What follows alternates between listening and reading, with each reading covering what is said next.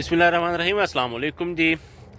आज जी मैं साइड पे आया हूँ और साइड पे अभी टाइम हुआ जी सवा छः छः बजकर बीस मिनट हो, हो गए हैं सुबह के और काम शुरू हो चुका है साइडों में काम चल रहा है और मुझे किस लिए आना पड़ा ये मैं आपको दिखा देता हूँ।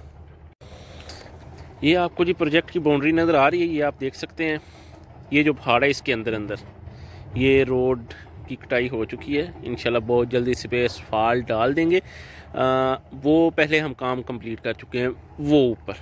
ठीक है जी? वो आपको नज़र आ रहा होगा रोड्स वो बन चुकी हैं। अब इसके बाद हमने ये भी काम कंप्लीट कर लिया हुआ है। ये आपको नज़र आ रहा होगा, वो मस्जिद है और वो रोड्स बन चुकी हैं।